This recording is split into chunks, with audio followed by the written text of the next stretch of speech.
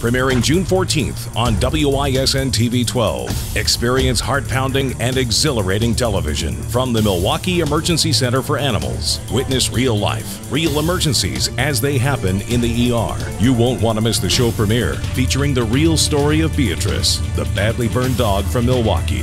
Viewer discretion is advised.